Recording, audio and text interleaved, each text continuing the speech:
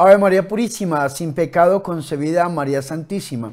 Mis hermanos y mis hermanas, Dios les bendiga, la Virgen María les guarde siempre. Bienvenidos a mi programa La Buena Nueva con su servidor el Padre Bernardo Moncada. Para hoy jueves sacerdotal, jueves 4 de febrero. Recordemos que hoy celebramos la feria litúrgica de San Nicolás de Estudita y yo los invito a que escuchemos la Buena Nueva.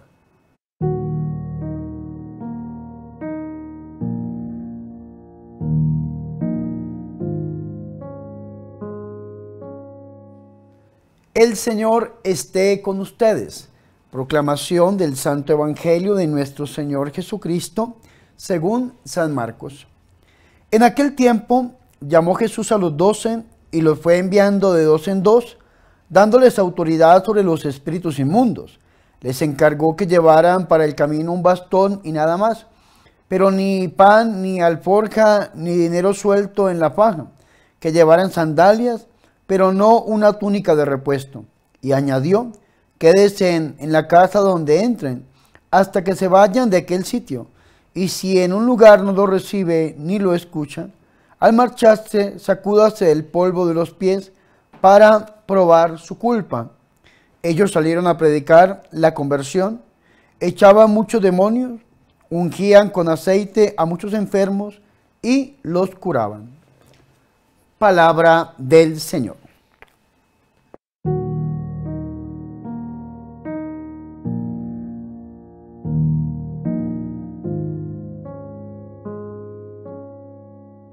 Mis hermanos y mis hermanas, qué alegría es para nosotros escuchar la palabra de Dios, el Santo Evangelio, la Buena Nueva, para este jueves sacerdotal, para este jueves vocacional, jueves 4 de febrero. Mis hermanos y mis hermanas, la Iglesia Católica en este jueves nos ha permitido escuchar una parte del Evangelio de San Marcos, tomada del capítulo número 6, versículo 6b hasta el versículo 13, donde encontramos la misión de los doce apóstoles. Para poder entender nosotros de una manera más óptima, más profunda, esta misión, tenemos que ir tres capítulos atrás. El capítulo número 3, versículo número 14 del Evangelio de San Marcos, donde dice que el Señor instituyó a doce, ojo con esto, para que estuvieran con Él y para enviarlos a predicar con poder de expulsar demonios. Vea qué interesante esto. El Señor Jesucristo instituye a 12 personas como apóstoles. ¿Para qué? Primero, para que estuvieran con Él. Al estar con el Señor tienen que aprender del Señor. Recuérdense cuando los primeros discípulos, según el Evangelio de San Juan, enviados directamente por el Bautista, fueron a preguntarle al Señor, ¿dónde vives? ¿Qué dijo el Señor? Ven y lo verás, dijo el Señor. Eso, aprender de Él. Los llamó para que estuvieran con Él. Pero vea qué interesante esto. Había una misión de parte de Jesús. Ya tenía el Señor una vocación para estos apóstoles. ¿Y cuál era esta vocación? Enviarlos a predicar y con el poder de expulsar demonios. Pues esta vocación que el Señor tenía para ellos llega hoy en el Evangelio de San Marcos, donde vemos nosotros la misión de los apóstoles. Por eso nos dice a nosotros San Marcos en el capítulo 6, versículo 6b, es decir, la segunda parte del versículo 6. Recorría los pueblos del contorno enseñando. ¿Por qué recorría los pueblos del contorno? Porque no lo habían recibido ahí en su pueblo que era Nazaret. Por eso dijo el Señor, nadie es profeta en su propia tierra. Entonces, después de que el Señor hace eso, llama a los doce y comenzó a enviarlos de dos en dos. Vea, les hace el envío nuestro Señor. ¿Para qué? Ya lo vamos a ver cuando los instituyó. Los instituyó para que estuvieran con Él, es decir, ya habían aprendido del Señor para predicar y para expulsar demonios. Es importante esto porque ya habían aprendido del Señor. El Señor hasta el momento había hecho las cosas solo el Señor hasta el momento había obrado el Señor y los apóstoles veían, los apóstoles estaban ahí observando, aprendiendo del Señor, ya aprendieron. Entonces, ¿qué hace el Señor? Los envía y los envía de dos en dos. Es importante, mis hermanos y mis hermanas, porque este mismo envío misionero que el Señor hace en los apóstoles en, el, Marcos capítulo 6, versículo 7, lo encontramos también en San Mateo en el capítulo 10 y en San Lucas en el capítulo 9.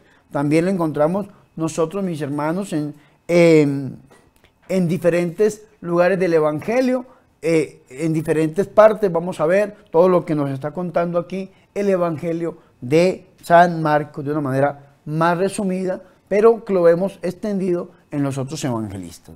Dice que llama a los doce y comenzó a enviarlos de dos en dos. Y el Señor les da el poder sobre los espíritus inmundos. Vea qué interesante esto. Les da el poder el Señor para expulsar demonios, para hacer exorcismos. Ya te los he dicho. Mateo en el capítulo 10, en el capítulo 9, dice que le da poder sobre todos los demonios. Y San Lucas en el capítulo 9 dice que le da poder sobre los demonios, igual que lo hace el evangelista Marcos en el capítulo 6, versículo 7. Lo primero que el Señor hace es enviarlo de dos en dos. Y lo segundo que el Señor hace es darles el poder para exorcizar. El mismo poder que el Señor Jesucristo tiene, se lo comparte. Jesús le da poder a sus discípulos. Y en estos doce discípulos nosotros a quién vemos? Vemos al Papa en la cabeza de San Pedro, vemos a los obispos en los demás apóstoles y vemos también a los presbíteros. Por eso dice el numeral 1172 del derecho canónico en el corpus cuando habla de los sacramentales, nos dice a nosotros que solamente el ordinario del lugar, que quiere decir el obispo diocesano, solamente el ordinario del lugar puede ejercer exorcismo legítimo sobre los posesos. Y dice el parágrafo 2, o a quien el ordinario delegue. Y puede delegar solamente a un presbítero, ojo con esto, el exorcista es el obispo o el presbítero delegado por el obispo y tiene que ser un hombre prudente, un hombre con espíritu de oración, un hombre con experiencia. Vea qué interesante esto. Es interesantísimo ver que los obispos delegan a los presbíteros, a los sacerdotes, como exorcistas, prudente, íntegro, testimonio, con espíritu de oración. ¿Por qué? Porque en el Papa, en los obispos y en los presbíteros vemos nosotros esta misión de los doce apóstoles. Por esa razón, cuando una persona con el poder que le ha dado Dios a través de la iglesia, un exorcista, va a exorcizar, entonces hace una oración directa, se llama imprecatoria, la misma oración que hacía Jesús, increpar, dar una orden directa al diablo para que se vaya, eso es lo que se conoce en la iglesia como un exorcismo. Fue el poder que el Señor le da sobre todos los demonios, nos dicen nosotros los evangelistas. Pero entonces aquellos que no somos exorcistas, aquellos que no son sacerdotes, delegados, entonces, ¿qué pueden hacer o qué podemos hacer? Lo que podemos hacer es una oración deprecatoria, es decir, indirecta. No darle una orden directamente al enemigo para que se vaya, sino pedirle a Dios, nuestro Padre, porque por el bautismo somos hijos de Dios y el Padre bueno nos escucha, que en el nombre de Jesús envíe el Espíritu Santo a través del corazón de la Virgen y que libere a este hermano que está siendo presa o atacado por un demonio. Esa oración la puede hacer cualquier bautizado. En la Iglesia Católica se llama deprecatoria, indirecta, imprecatoria, directa solamente el obispo o el exorcista delegado por el obispo. Seguimos mis hermanos y mis hermanas profundizando en esta pericopa bíblica. Nos dice el versículo 8 que el Señor Jesucristo le da una orden también a estos apóstoles y esta orden se centra en lo que se conoce como la pobreza evangélica. Quiere decir que nosotros no tenemos que poner, mis hermanos y mis hermanas, nuestras fuerzas, no tenemos que poner nuestra confianza en las cosas del mundo, en el poder del dinero, ni en las cosas pasajeras, sino que nuestra fe, nuestra confianza, nuestra esperanza tiene que estar puesta en el poder del Señor, porque así como lo dice el Señor, gratis lo recibieron, gratis entréguelo, pero el trabajador es digno, merece su salario, dice San Mateo en el capítulo 9. Vea qué interesante esta orden que le da el Señor. Les ordenó que no tomaran para el camino nada fuera de un bastón para apoyarse, ni pan, ni alforja, ni dinero en la faja, sino calzados con sandalias y no vistan dos túnicas, le dice el Señor. ¿Qué significa esto? Pobreza evangélica. Que nuestra confianza debe estar en el Señor. Nosotros los religiosos le llamamos a esto la divina providencia. Hay gente que le pregunta a uno, Padre, ¿y usted qué vive? De la divina providencia. Dios que nuestro Padre conoce nuestras necesidades porque nuestra confianza está puesta en Él y el Señor es el que nos da con su divina providencia aquello que necesitamos. No tenemos que, mis hermanos y mis hermanas, escúchenme muy bien, poner nuestra confianza, nuestra esperanza en las cosas materiales. Pongámonos a pensar en Hechos de los Apóstoles, en el capítulo tercero, cuando Pedro y Juan iban entrando en el templo de Jerusalén por la puerta de la hermosa, y había un hombre ahí mendigo, un hombre paralítico que estaba pidiendo dinero. Y le dice que les dé dinero. ¿Qué responden ellos? No tenemos oro ni plata, pero lo que tenemos le damos. En el nombre de Jesús, levántese y anda. Le dice, ah, qué interesante esto. Si Pedro y Juan hubieran tenido una moneda en el bolsillo, este hombre paralítico se hubiera quedado en el suelo. Pero como su confianza estaba en el poder divino, entonces mis hermanos le dijo, en el nombre de Jesús, levántate y anda. Y el muerto y el, el paralítico se levantó y anduvo en medio de ellos. Y eso es importante que nosotros tengamos en cuenta. Ahora, los bienes económicos son necesarios, claro que sí, para extender el reino de los cielos.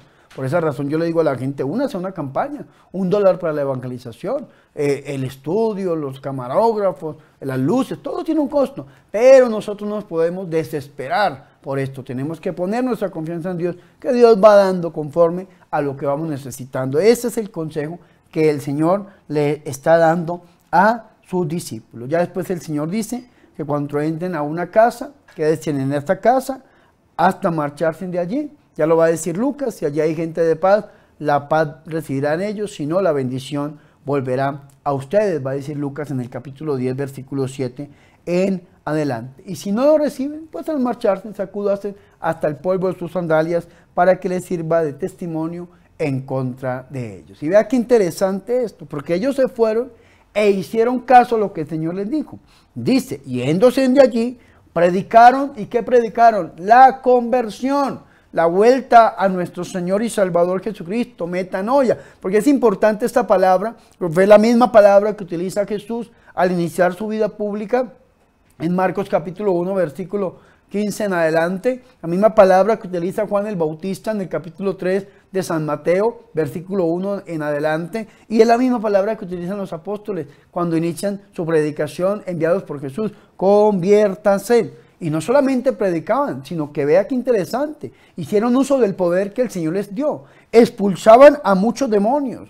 Esto es importante, mis hermanos y mis hermanas, porque la iglesia tiene que hacer uso del poder que Dios le ha dado para exorcizar, para expulsar demonios de aquellos lugares o personas donde el demonio se haya alojado. Lo vemos aquí en el poder que le dio el Señor y en la ejecución que hacen los apóstoles de este poder. Es necesario, mis hermanos y mis hermanas, orarle y pedirle al Señor para que el Señor ilumine con la luz de su Espíritu a la iglesia, al Papa, a los obispos, y que los obispos sean conscientes de esta necesidad tan grande en este mundo contemporáneo. Se necesitan exorcistas, personas que vayan con el poder del Señor a predicar la palabra, llamar a los pueblos a un camino de conversión o al único camino de conversión que es nuestro Señor y Salvador Jesucristo. Que los pueblos se vuelvan a Jesucristo y que tengan vida como dice Puebla, mis hermanos y mis hermanas, pero que también la iglesia use el poder que el Señor le ha dado para expulsar a los demonios. Pidámosle al Señor que ilumine la iglesia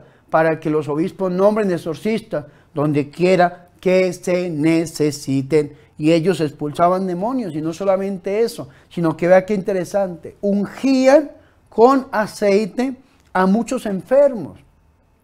Aquí podemos ver la unción de los enfermos, el sacramento de la unción, como lo dice la Santa Iglesia Católica, pero también podemos ver el sacramental del aceite. El aceite cuando es bendecido y exorcizado, se puede uno ungir, untar las manos para orarle a los enfermos sin que sea sacramento. Porque es que aquí hay una, una diferencia entre el sacramental y el sacramento. El sacramento es cuando el, el presbítero o el obispo ejercen el, sacramento de la unción de los enfermos bajo el rito y pidiéndole al Señor que sane a aquella persona, que le perdone sus pecados, mis hermanos y mis hermanas. Solamente el obispo y el presbítero lo puede hacer, el diácono no lo puede hacer. Pero un laico puede orar por los enfermos. Cuando el laico utiliza el sacramental del aceite, pues sencillamente, mis hermanos, no es sacramento porque no es sacerdote, porque no es obispo.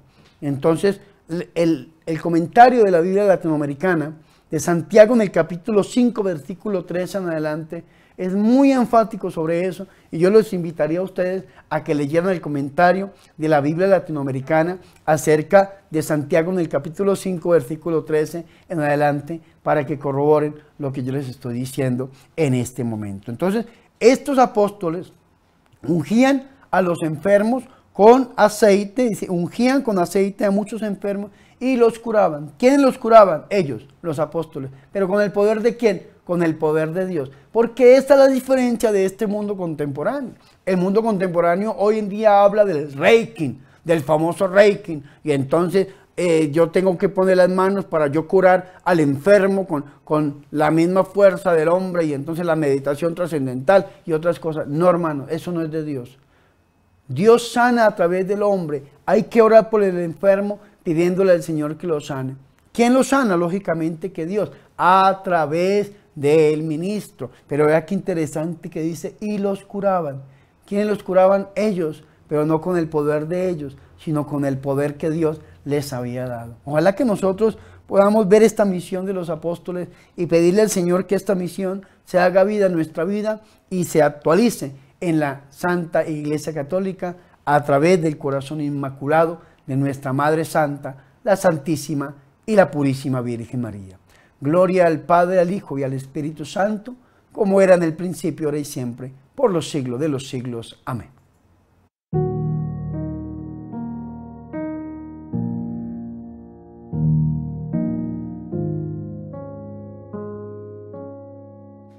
Ahora, mis hermanos y mis hermanas, yo los invito a que hagamos oración. Oh Espíritu Santo, alma de mi alma, luz que iluminas mi vida interior, hazme conocer y cumplir la voluntad divina en lo cotidiano de la vida y descubrir la fuerza espiritual que tiene la palabra del Evangelio. Virgen María, Madre de Dios, ruega por nosotros. Amén.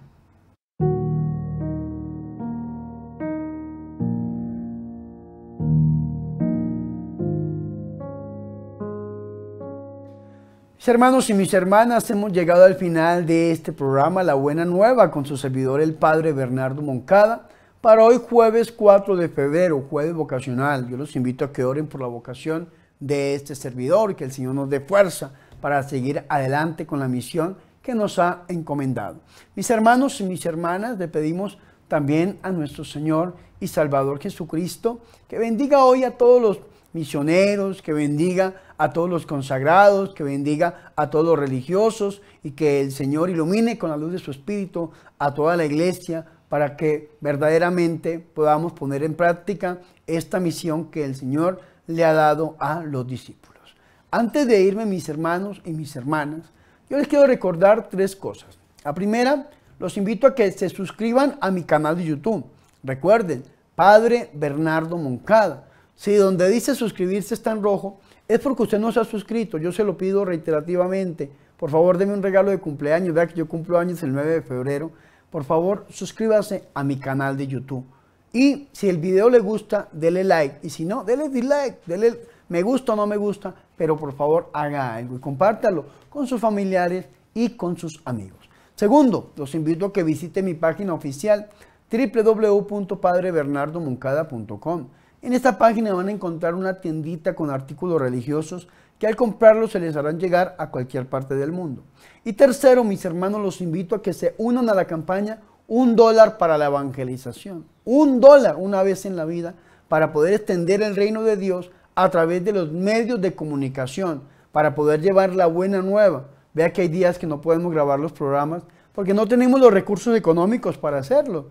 El Señor que es el que mueve nuestra vida, el que guía nuestra vida, sabrá por qué en qué momento no tenemos los recursos económicos. Recuerden que el Señor dijo, no lleven nada por el camino. No podemos depender de lo que tengamos. Sin embargo, mis hermanos, todo esto tiene un costo. Alquilar el estudio, las pantallas, las cámaras, la luz, los camarógrafos, todo tiene un costo. Y eso se puede llegar a pagar si usted se une con nosotros a través de un dólar una vez en la vida para la evangelización. ¿En qué se usa ese dinero? En la producción de diferentes programas para subirlos a YouTube, a las redes sociales y que los pueblos conozcan a Jesucristo y que tengan vida a través del corazón de la Virgen María. Recuerden, un dólar una vez en su vida para la evangelización. Lo pueden hacer llegar a través de las cuentas bancarias que aparecen en pantalla o a través de PayPal, que es un medio de pagos y donaciones muy seguro. Yo voy a orar por ustedes para que el Señor los bendiga al ciento por uno. Bueno, mis hermanos, y no siendo más, le pedimos al Señor que bendiga nuestras vidas y que el Señor nos bendiga a través del corazón de la Virgen María, en el nombre del Padre, del Hijo y del Espíritu Santo. Por favor, recen por mí en este jueves vocacional. Recuerden que yo soy el Padre Bernardo Moncada, su amigo, su sacerdote, que yo soy su servidor.